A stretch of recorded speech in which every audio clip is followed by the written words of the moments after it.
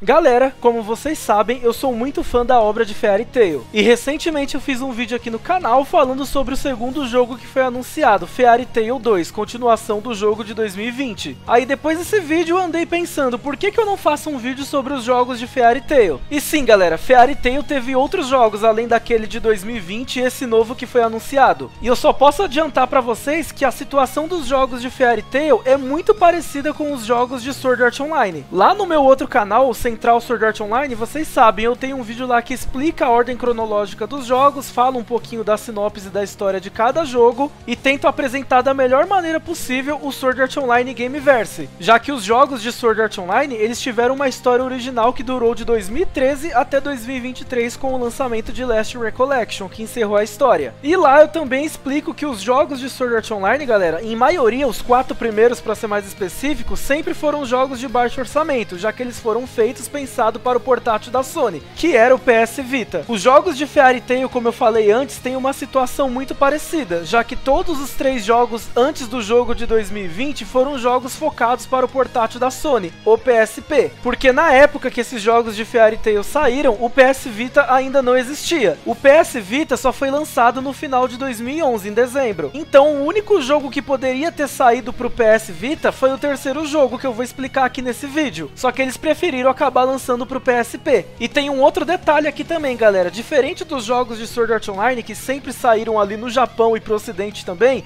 esses jogos do Fairy Tail só ficaram no Japão. É por isso que muita gente não conhece. Dá até para dizer que são jogos Lost Media, já que são jogos que estão presos no Japão e no idioma japonês. Ou seja, só quem tem o PSP e é japonês, ou se não entende de japonês, pode poder aproveitar esses jogos de alguma maneira, já que esses jogos não foram relançados para o PS Vita, nem PlayStation 3, nem PlayStation 4, nem nada do tipo. E o que eu achei interessante durante minha pesquisa para fazer esse vídeo, galera, é que os jogos do Fairy Tail, eles pegam e adaptam toda a história ali da obra até certo certo ponto. Vocês vão entender tudo melhor conforme eu ir explicando cada jogo aqui no vídeo. Eu espero que vocês gostem e bora pra intro.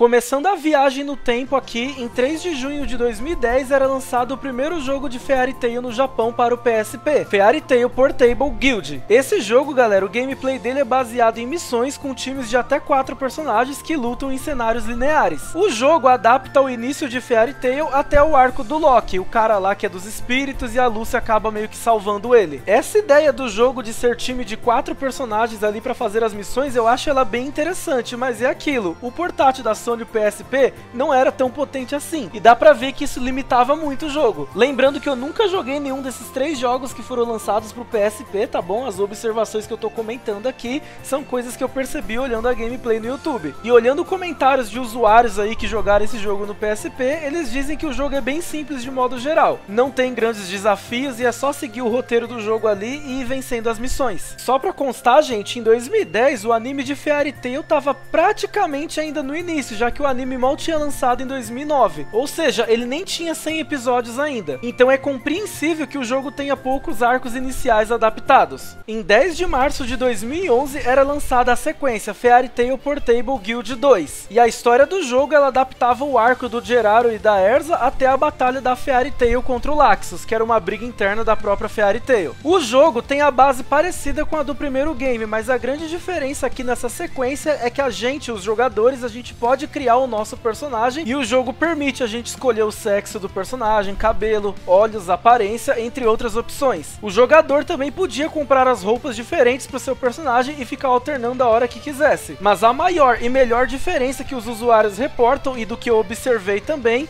é que a gente poderia criar grupos maiores com magos da Fairy Tail, ou seja, não era apenas um grupo de quatro personagens, dando uma melhor variedade para os jogadores, podendo expandir toda a apelação do gameplay. E sinceramente eu não tava esperando ver um jogo de Fairy Tail que permitisse o jogador a criar um mago para poder entrar na Fairy Tail e se juntar com Natsu, Lucy e os demais. Não vou mentir não, a ideia do jogo também é interessante. E mais uma vez o jogo é judiado por estar tá preso no portátil da Sony, o PSP. Eu tenho certeza que se esse jogo tivesse mais investimento e saísse para console mais potente, teria dado muito mais certo. E no caso, naquela época, esse jogo seria perfeito para o PlayStation 3. E o terceiro e último jogo lançado para o portátil da Sony é o jogo Fairy Tail Zeref Awakens. Esse jogo foi lançado no dia 22 de março de 2012. E como eu falei na introdução do vídeo, esse jogo poderia muito bem ter saído para o PS Vita, mas por algum motivo os desenvolvedores não quiseram colocar ele no PS Vita, só no PSP. Eu chuto que o motivo foi que o PS Vita ainda era muito novo e eles queriam garantir mais as vendas no console anterior. O jogo adapta três arcos, o arco da Oração 6, o arco do mundo de Edoras e o arco da ilha Teirãojima. E ainda por cima, o jogo apresenta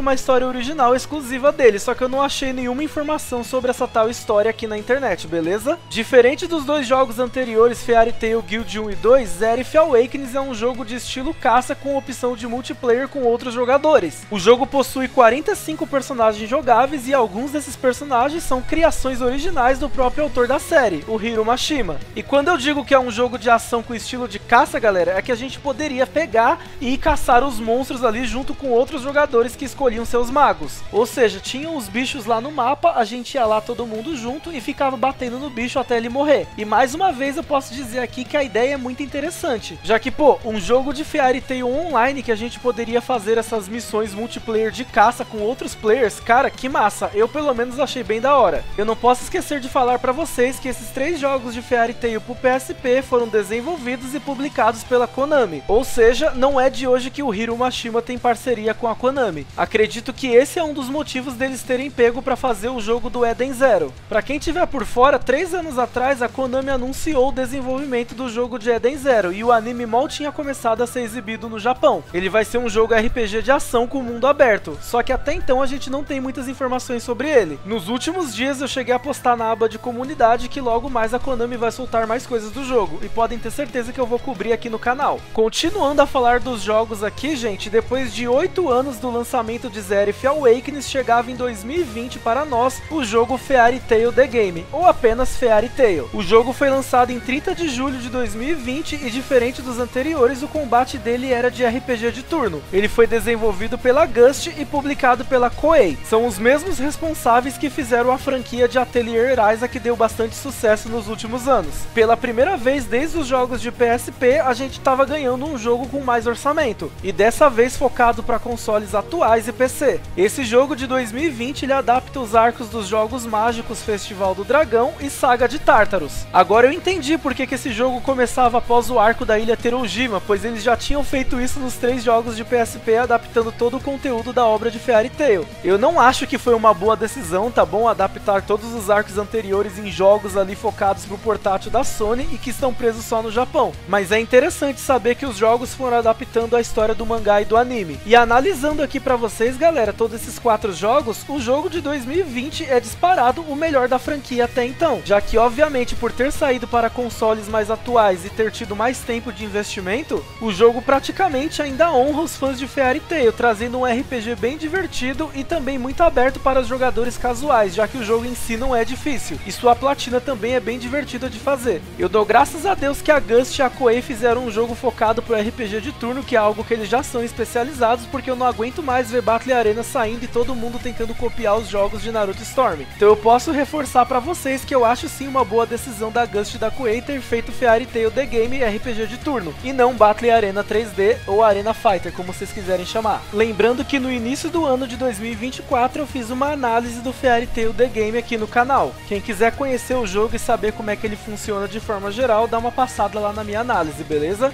E bom, por último, vocês já sabem, o Fairy Tail 2 foi anunciado recentemente aí no Nintendo Direct, ele vai continuar da onde parou a história do 2020 e vai adaptar o arco final do mangá, o arco de Alvarez. E também vai colocar uma história original, mas que não deram detalhes do que vai ser. Conforme for saindo coisas, eu vou informando vocês por aqui, beleza? E eu obviamente não vou deixar de comentar por aqui no canal, já que Fairy Tail é uma das obras que eu mais gosto. E eu devo comentar com vocês que eu acho bem estranho, devido à fama de Fairy Tail e o sucesso que a obra fez por muito tempo, ter demorado tanto para conseguir um jogo ali realmente com mais investimento, já que Fairy Tail foi uma obra que mesmo não sendo da Shonen Jump, ainda conseguiu meio que atrapalhar e incomodar em alguns momentos o Big Tree. E quando eu me refiro ao Big Tree, é Naruto, Bleach e One Piece, já que Fairy Tail ficou bastante tempo brigando ali no topo de vendas com esses três. E falando na questão dos jogos, Naruto e One Piece lançaram bastante jogos de 2011 para cá. Só que no caso dos Narutos, eles acabaram ficando presos só na franquia Storm em grande maioria e não tiveram uma boa variedade de jogos. Tanto é que o último Naruto Storm Storm Connections lá flopou e ninguém mais quer saber da franquia Storm.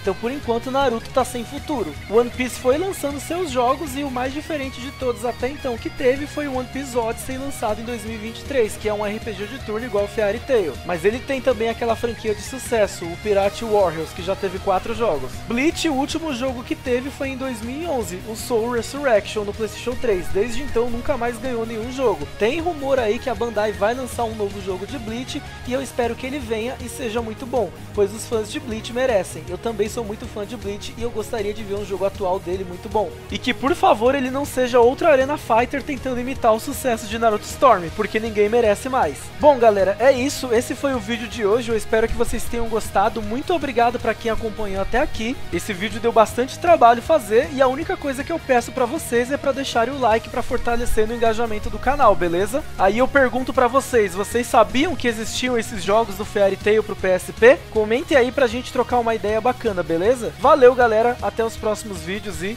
tchau tchau!